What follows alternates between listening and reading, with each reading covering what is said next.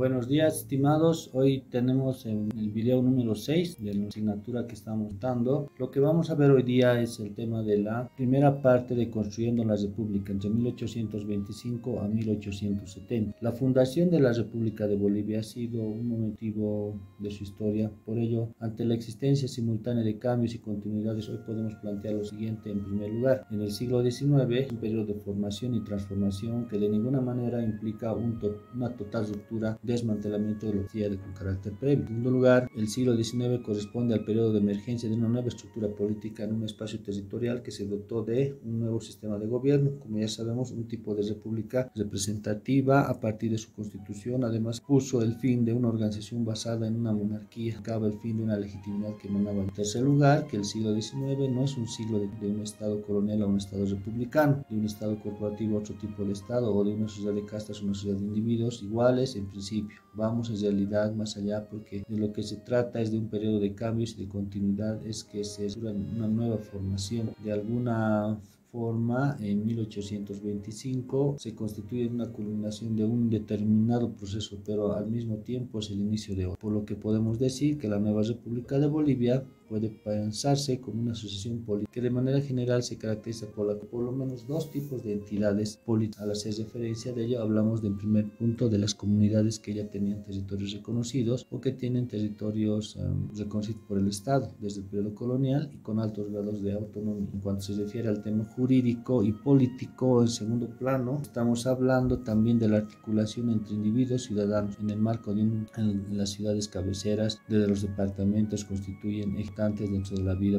Este capítulo se divide en tres partes. La primera que comprende el periodo 1825-1870, la segunda entre 1880 1901 y la tercera entre 1900 a 1900. El primer periodo desde la creación de la República hasta su recuperación económica, el segundo desde la Guerra del Pacífico a la Guerra Federal y el tercer periodo desde la fusión de la nueva esfera política, la exportación del estaño y el desarrollo de las lentas de organización de la economía. Podemos decir que el, análisis de la economía durante los las tres primeras décadas post-independencia muestran que lejos de concretarse aquello, el dinamismo de la economía boliviana fue particularmente bajo. Durante este periodo, las explicaciones surgidas en el análisis de otros casos en América Latina permiten entender las causas de este contraste activas y realidad. Por un lado, si bien sabemos que Bolivia surgió con un acceso soberano al mar, una gran parte de la población vivía en las montañas o valles andinos. Ello implica que, a diferencia de casos tales como países como Argentina, Chile, Uruguay, la economía boliviana tenía dificultad a la hora de aprovechar las unidades económicas generadas dentro del comercio mundial. Por otro lado, la independencia no solo tenía beneficios, también costos directos como indirectos en cuanto a los primeros 15 años que duró la guerra de la independencia con la muerte de miles de habitantes y la destrucción de aquellos lugares donde se libraron las batallas. Por ende, calcular las actividades mineras y con la destrucción de varias minas demandaba de importante. Ahora, si hacemos referencia a los costos indirectos debemos considerar que la de la española implicaba la eliminación de el funcionamiento de la sociedad. Por ello, la independencia requería de nuevas que delimitaran nuevas normas. Lo que queremos decir es que las nuevas reglas del juego que determinaban las ciudades y así como las económicas tenía que haber una acción y esa fue nuevamente el caso de la ya que las nuevas acciones fueron ineficaces a la hora de talimiento dentro del cobre generaron un interés dentro de la economía regional. Sin embargo, la recuperación del dinamismo económico del siglo XIX, sin embargo el gran salto minero no se dio hasta la década de 1000. La Bolivia fuera de las uniones que más tardó en superar su dinamismo luego de la emergencia de la República de Bolivia y dos importantes. La emergencia de Bolivia fue producto de negociaciones internacionales, así como regionales, porque el territorio de las charcas dependió de La Plata, con su capital Buenos Aires, habiendo ha sido previamente parte del Virreinato del Perú, por lo que era lo que en los periodos comprendidos entre 1824 a 1825 las provincias de La Plata pretendían la incorporación de Pasco, Chabamba, Charcas, que el Perú pretendía también anexar. Dos asambleas fueron clave en sentido. Por un lado, la Asamblea de Representantes de Alto Perú, convocada en febrero de 2005, que debía definir la situación del nuevo país frente a las diferentes alternativas existentes, como habíamos dicho, ser parte del Río de la Plata, parte del Perú, o la tercera opción.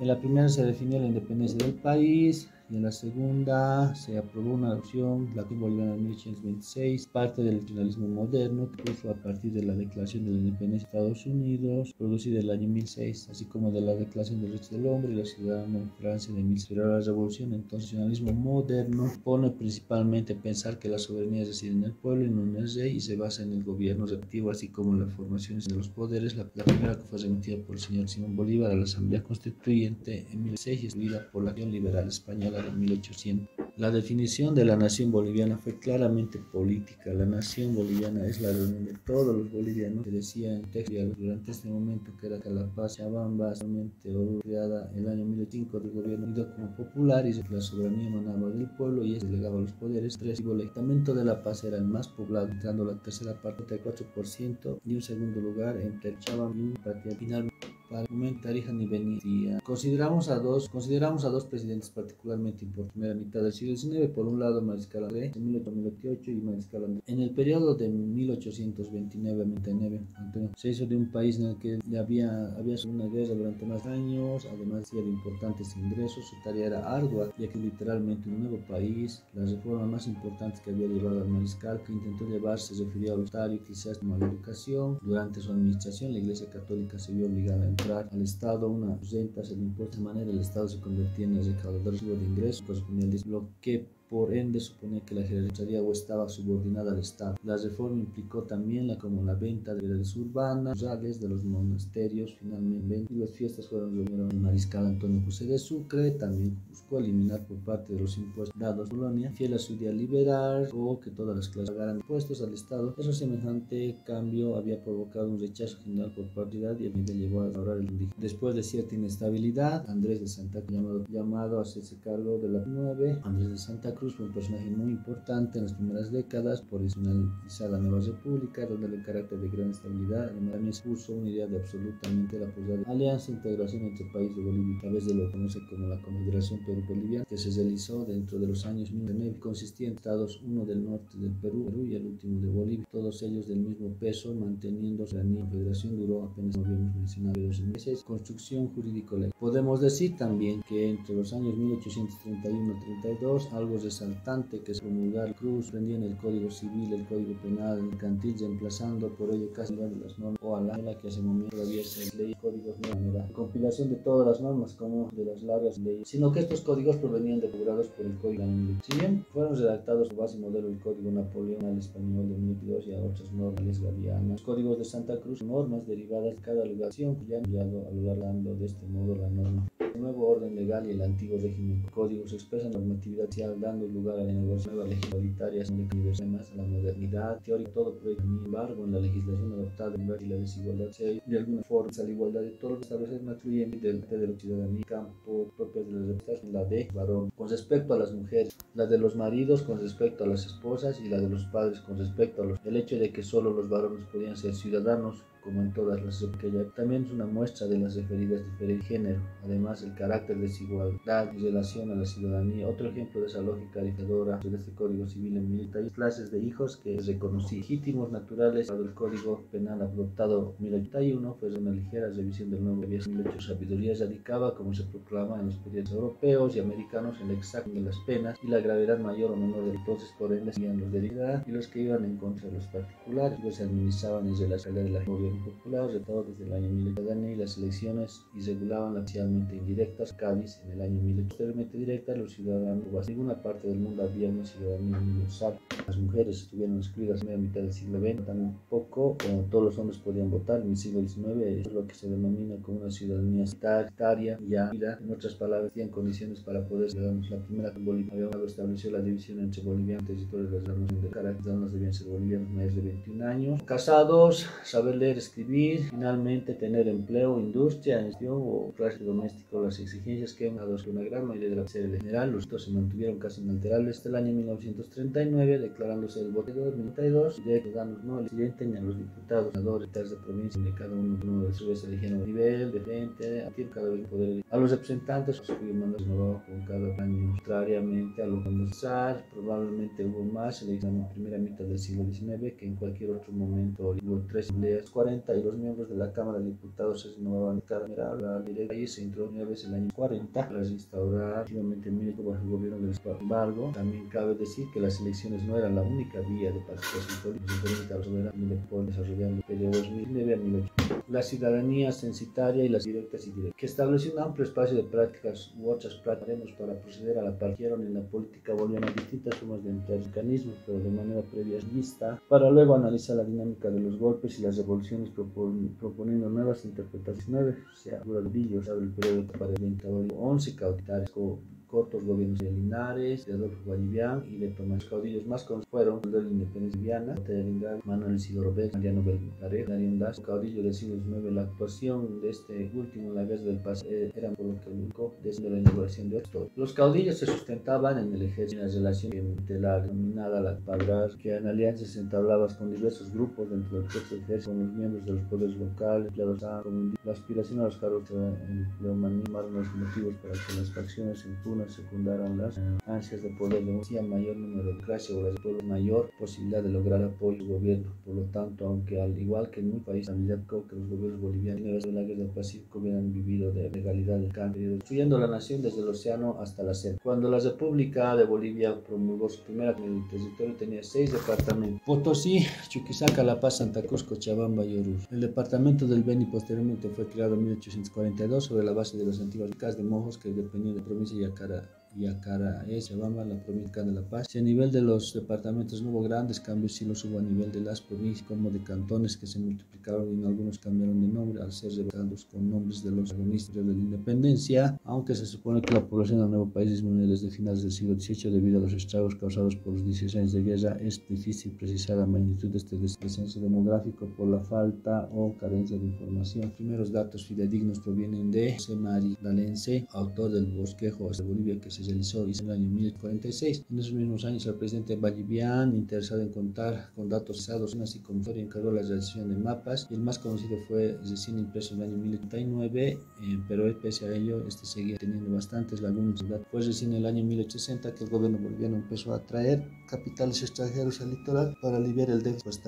digno y como garantía de los tenidos se dio la exportación del guano y de salitre en la costa de Mejillones bajo la modalidad de en 1863 y la pretendía haber hecho sobre las salitreras de Mejillones y fue entonces que volvió a echar una guerra, pero no se llevó a cabo. La costa era en todo caso un escenario ideal y le para los, políticos, bolivianos, áreas nacionales, deben invertir en las alturas para el periodo de se creó el departamento del litoral con capital Antofagasta, estaba en dos programas en cuanto a la labor de los misioneros y que sobre todo a partir de la segunda mitad del siglo incluyen un referente ineludible para que el Estado pueda tierras bajas, la del Chaco, Cruz, Bamba, la educación, fiestas. Podemos destacar así los siguientes hechos. Simón Bolívar llegó al Alto Perú, a y es que se hizo cargo del complejo tema de la educación en nuestro país. En el nuevo país se adoptó entonces una ley escolar que dispuso en todos los departamentos el establecimiento y la organización de escuelas primarias, colegios, secundaria con el nombre de colegios de ciencias y escuelas para web ambos sexos. Por otro lado, también se diseñó el primer educativo con ideas de carácter pedagógico y como de progresistas para la creía firmemente en un carácter igualitario, pero las familias bolivianas manifestaron décadas después del gobierno de Robel Sur se volvió nuevamente a niñas, niños y se atendió la educación de los artesanos mediante escuelas de arte, escuelas de arte, con el objetivo de poder formar ciudadanos, observaron el orden e incrementaran la prosperidad buscando práctica o en la en algunas ciudades mineras como en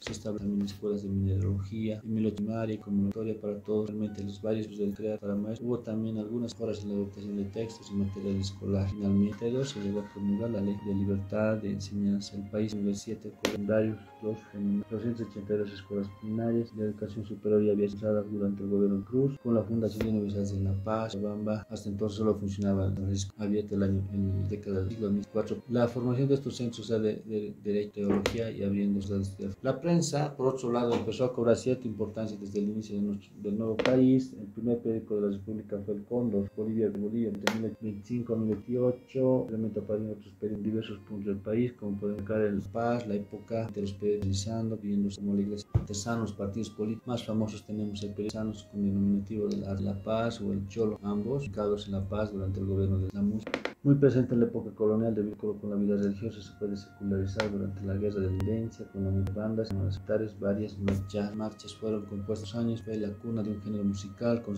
boleros de caballeros solemnes que interpretaron las ciudades religiosas por otro lado, como la de Corpus Christi, carnavales, así con bailes, para como blanco. Novedad en este periodo fue la un punto clave para formar una conciencia común, la guerra de la independencia personales y fue parte fundamental del imaginario de las personas que en esos momentos estaban construyendo un primer paso. Fue denominar al nuevo país como República Bolívar en honor a Simón Bolívar, que la futura capital Plata. Isaca fue bautizada Sucre en honor al mariscal Antonio de la Paz. También fue denominada la Paz de Ayacucho. Durante las décadas ganas también se iniciaron importantes intentos a los símbolos nacionales, modificándose el primer escudo y la primera bandera de Bolívar. Los colores definitivos de la bandera fueron definidos el 5 de noviembre de 1881 durante el gobierno de Vélez con los colores en la parte superior amarillo, en el centro verde y en la parte inferior. Las fiestas cívicas privilegiaron eventos como el nacimiento de Simón Bolívar, Antonio José de Sucre, el aniversario de la victoria de Ayacucho. Principalmente el 6 de agosto, fecha de la que se conmemora y se declara la independencia del territorio. En honor a la batalla tuvieron también fiestas cívicas departamentales,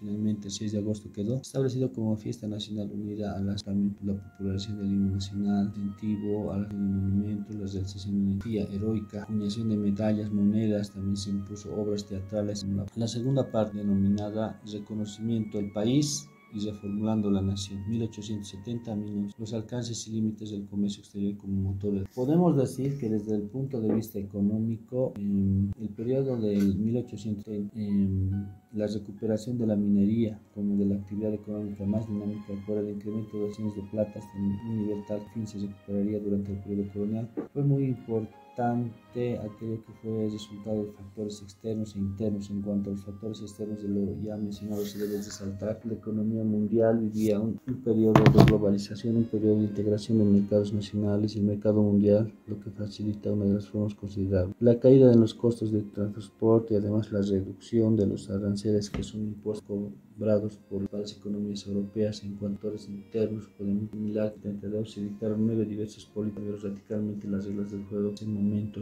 estaban vigentes. La Guerra del Pacífico. El 7 de febrero de 1879 la fragata blindada chilena Blanco Encalada se ancló en el puerto boliviano de Antofagasta y lo bloqueó con el fin de disuadir al gobierno boliviano de aplicar una medida sobre un impuesto de 10 centavos que debían pagar las compañías salitreras por cada quintal que portaban entre los paralelos 23 y 24 del desierto de Atacama. Una semana después, la Armada chilena tomó Antofagasta el 14 de febrero y luego las minas de plata de Caracoles, así como Calama.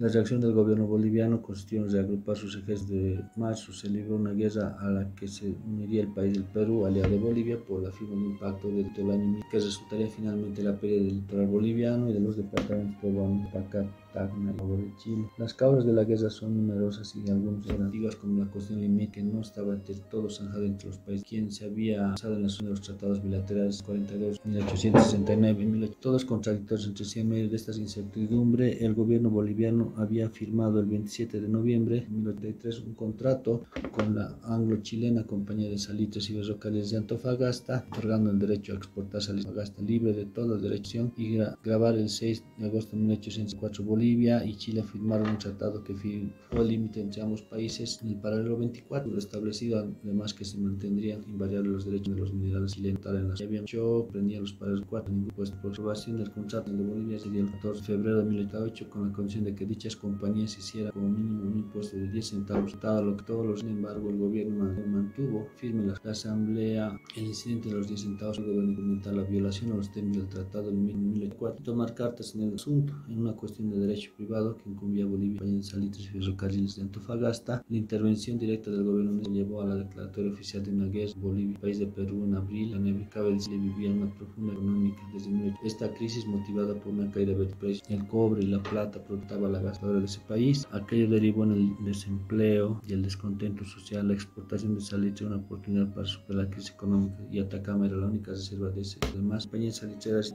y se habían asentado en el litoral tanto boliviano desde muy atrás, dando un importante de carácter poblacional que defendería el lugar, gestionaba trabajo como COVID, aquello que contrastaba con la escasa y débil presencia de la población boliviana en el departamento litoral, pues para el año 2004 se consideraba que el 93% de la población de Antofagasta era chilena, apenas un 2%. Además de actores económicos, territoriales, diplomáticos, hubo también un claro plan de anexión del desierto de Atacama al territorio chileno, cuyo antecedente era la Comisión del Gobierno chileno de tener derechos sobre la zona desde el año 1982, indicando que esta perteneciera a Bolivia por principio de 1910 y desconociendo la documentación que señalaba que la provincia de Atacama había estado sujeta a la, audiencia de Charcas, concretamente a la Intendencia de Potosí, por él, por él entre los años 1986 y 1900 varios tratados límites de repúblicas y Bolivia envió reiteradas misiones diplomáticas para demostrar su lealtad ante Chile. La guerra se desarrolló en un sinnúmero de largas batallas, tierras, así como superioridad militar chilena, era de carácter innegable, dos fragatas blindadas peruanas tendientes no tenían capacidad. En 1881 Chile propuso a Bolivia el fin de las hostilidades y a cambio una sesión del departamento oral compensada a Narciso Campero, designado presidente de Bolivia luego de la Daza, tras la retirada de Camarones, la derrota de batalla de San Francisco, estas nuevas, manteniéndose fiel al Tratado de Alianza. El Tratado de Paz de Ancón de 1883 que vieron Perú y Chile fue nefasto para los intereses bolivianos. El Perú había seguido la propiedad perpetua incondicional sobre el territorio también, también la del litoral boliviano dio igualmente la octava el cual de las dos repúblicas. Estamente la aparición sometió al Perú podría explicar por qué este país firmó tratado después de la rendición del Perú. De la amenaza de la tomada del Departamento de la Paz no tuvo más un pacto de Treo en 1884 bajo la para poder final del conflicto. El tratado en 1904 significó el final definitivo de la guerra para Bolivia, perdiendo un vasto territorio, carácter de cualidad marítima a cambio de una magra indemnización en libres esterlinas y la construcción posteriormente del tratado suscrito entre Perú y Chile en 1829 terminaría por la condena a Bolivia, a la mediterraneidad. El periodo oligárquico entre 1880 a 1899. Destituido del poder de entonces el presidente Hilarión Daza, una de las primeras medidas realizadas por el nuevo pero fuera de convocar a una convención nacional en el mes de mayo de 1880. Aquella estuvo integrada por los representantes civiles más notables de la nación, entre ellos dos mineros sureños de la Plata, y fue en el rubro tomar políticos, por ende, siendo el inicio del periodo oligárquico conservador, finalizando el gobierno de Campero, se realizó mediante sufragio popular. La armonía interna de la convención nacional derivó prontamente en el enfrentamiento entre dos y la guerra. Quienes estaban de acuerdo, en desacuerdo con continuación de la guerra fueron conocidos como conservadores, no la guerra liberales. La posición pacifista ganó más espacios. La elección en la que ganó, en la que ganó en 1888 a 1882 estuvo basada en la promesa de apoyo hecha por Pacheco en la anterior justa electoral en las siguientes. Mariano Ortiz, 92 a 1893, ganó de manera precaria. El Parlamento Liberal aliado permanente, aliado permanentemente es el partido de Pacheco, ganó el control del Congreso. Baptista era un abanderado del catolicismo y un excelente orador. El mismo presidente conservador fue Severo Fernández Alonso, en 1890-1999, quien era abogado y propietario de Minas. Construir y representar. Los censos estadísticos son fuertes para estudiar la población, fuentes fundamentales, pero también son producto de ambiciones y sobre la sociedad. En una época determinada de los censos del siglo XIX se describe a la población de los de indio, mestizo y blanco. Indios serían los originarios, blancos serían los descendientes españoles. Eso es la mezcla entre ambos. Tierras bajas, asentamiento a la sombra de los conflictos. En los últimos años del siglo XIX, las misiones misioneros franciscanos que recibieron la tarea de transformar a los bárbaros y a los ciudadanos encontraron dificultades, además de la presencia de algunos indígenas en someterse al régimen misional. Hubo una de la sociedad dominante para acceder a la mano de obra indígena. Por ello, los franciscanos empezaron a desarrollar estrategias para mantener a sus neófitos fuera del alcance de los potenciales patrones fueran ganaderos, gomeros o comerciantes. Esa actitud de carácter protectada como un obstáculo al progreso en los gobiernos y la sociedad de la época. Por consiguiente, a fines la presencia de los misioneros fue cuestionada según algunos empresarios gomeros al mantener a los indicados varían el desarrollo y del gobierno llevando a cabo una tarea única en el mercado. En el campo educativo en 1872 se declaró la libertad enseñada y se entregó a las escuelas primarias y las municipalidades a la población. Por ende, la existencia de las primarias municipalidades era vigente en el gobierno de Hilarión Das. Se volvió al régimen anterior en el que el Estado asumiría la obligación y responsabilidad de ocuparse de forma directa de la instrucción nacional. En consecuencia de la guerra del Pacífico absorbió a todos los recursos del país y no se pudo avanzar en materia educativa y llegó a cerrar colegios. Debido a ello, se creó por ley un Consejo Supremo de poder dirigir y dar una supervisión científica o administrativa. La multifacética mujer del siglo XIX. A lo largo del siglo XIX, eh, tanto en el periodo colonial como en la República, el peso de la tradición y entre ellas podemos mencionar la patria porque está en primer lugar, está implicada la expresión legal de la dominación masculina en la figura de paterna, no marital y de normas como la que no reconoce a la mujer como ciudadana, ponían frenos a la participación política o económica de las mujeres, pero sin embargo muchas mujeres lograron romper, pasar por encima de estas normas y adquirir cierta independencia de padres, esposos mediante una de ellas era el trabajo frecuentemente en el rubro de comercio, por otro lado también mujeres libres, denominaban más riendas de su vida, lo que llevó a constatar que Mónica fue probablemente más permisiva, a pesar de fines del siglo de papel de la tal espacios dentro de la sociedad, los matrimonios entre mujeres que gozaban de propiedades casas, terrenos, haciendas y hombres profesionales y que podían aspirar a un cargo público eran comunes en la práctica de las que quedaron a cargo de las propiedades fuertes de prolongación del espacio doméstico. Por otro lado, las actividades de beneficencia, filantropía, apoyo a la educación y a la salud en el mundo indígena andino, los clas las clásicas autoridades indígenas con el mismo rango que el nivel de los caciques se distinguían de la de la mamatalla, que eran esposas de las autoridades sublimes. Entre las clásicas, para señalar del siglo XIX, estuvieron Nicolás, Choquehuan, Calahumana, hermana del presidente Andrés de Santa Cruz, Juana Valencia, viuda de mamá. Estas mujeres tuvieron cierto poder, pero no eran reconocidas como ciudadanos, pero en algunos casos sus hijos sí lograron hacer un ejército. Algunas mujeres se volvieron indispensables, se trataba de las compañías de soledad de los que provenían del alimento y ropa. Estas se llamaban Zabona, tuvieron un papel importante en la guerra del... La Guerra Federal, 1898 Podemos destacar que Bolivia llegó a fines del siglo XIX presa de graves contradicciones internas que provocaron la llamada Guerra Federal, una guerra civil que fue el producto de varios factores interdependientes, conexos y con diversas motivaciones de orden político, regional y étnico. Protagonistas más importantes fueron el Partido Liberal y UNED indígena, como el MAR participaron de forma activa en el, que se enfrentaron a la gestión de las últimas décadas. El discurso de los liberales denunciaba el fraude electoral cohecho desarrollado por los conservadores y aplaron al federalismo y la descentralización. De esta manera, eh, regionalismo y federalismo fueron las dos caras de la misma moneda. Los acontecimientos de 1899 fueron parte de la necesidad expresada por las diferentes regiones de una reforma estatal. Los argumentos de federalismo federales querían flexibilizar y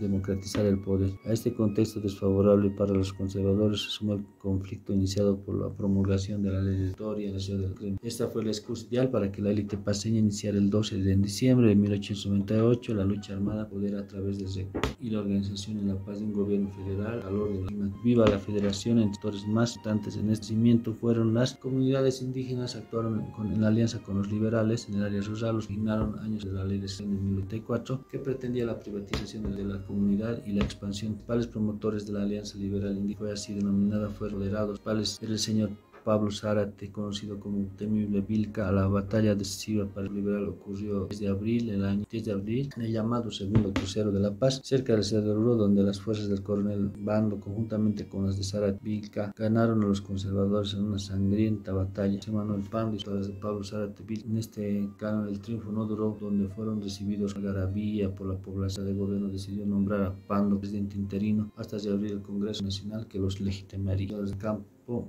Pablo Sarteville que los demás líderes fueron apresados. Tercera parte, entre conflicto y conmemoración 1900 1920. La economía boliviana entre 1900 y 1905 marcha sobre rieles. A principios del siglo XX, la economía boliviana mantuvo la estrecha vinculación con la economía mundial que se había generado desde la década de 1900. Sin embargo, la plata perdió protagonismo como principal producto de exportación en beneficio de la goma, sobre todo del estaño. El auge de la goma significó un impulso económico en una zona alejada del tradicional centro económico del país. Este proceso, sin embargo, fue momento, ya que a mediados de la década de 1910, el mercado de la goma se redujeron drásticamente las compañías de Stiño, Mauricio Estiga, Carlos Mayo, ubicaciones en las zonas tradicionales de las capacidades previamente generadas por el de la de sus condiciones. Los liberales gobiernan 1899-1920. La consecuencia inmediata del triunfo liberal en la guerra federal fue el traslado de la sede de gobierno a la ciudad de La Paz, iniciándose un nuevo siglo, una nueva etapa de, nuestra historia, la etapa liberal comprendida en los años 1899-1920. Los ideales liberales que llevaron a la guerra fueron prontamente desestimados por la Convención Nacional con la excusa de que era un peligro a la unión del país y un elemento lo que facilitó el traslado del poder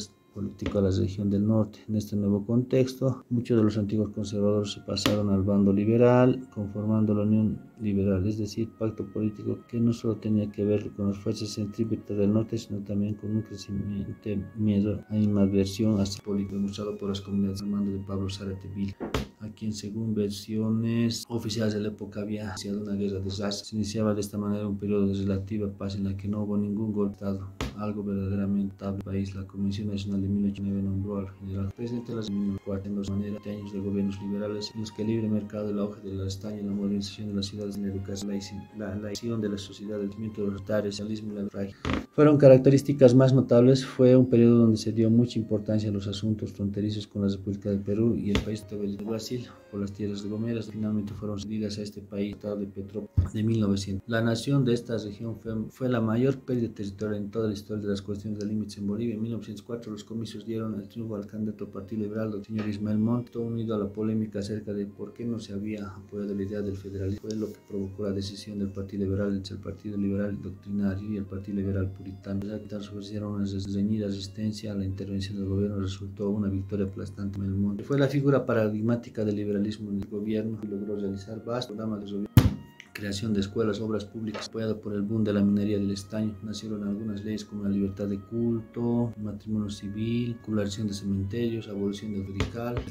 Sin duda uno de los problemas más delicados que conformó su gobierno fue la firma del Tratado de Paz, Amistad y Comercio Chile en el año 1904. El tratado fue refrendado por el Congreso en 1905. El tratado establecía la electoral a cambio de por paz, pagadinas, el derecho a libre tránsito, las novedades recibió los de federales. La paz se convierte en una ciudad moderna. De progreso y de modernidad, el principio principios del siglo XX fue común a todos los países latinoamericanos. En Bolivia esta idea autor que llevó a los liberales en el poder a emprender politbombería en las vías de comunicación, traducidas en construcción de caminos, ferrocarriles, finalmente edificación de obras públicas, desarrollo urbano con la única finalidad de buscar el confort a través de los servicios, luz eléctrica, agua potable, alcantarillados, elaboración de planes urbanísticos, de parques y alamedas, gracias al censo de 1900, la ciudad de La Paz, eh, tenía 60.000 habitantes y era la ciudad más importante del día de 1905 flamenco, con la comeña, la ciudad alumbrado eléctrico. Embellecer el paseo de la Alameda, actual Prado, cuyo nombre cambió por el de Avenida Tras la Avenida Montes, se construyó el Palacio Legislativo, la estación ferrocarril, se creó el barrio de Miraflores.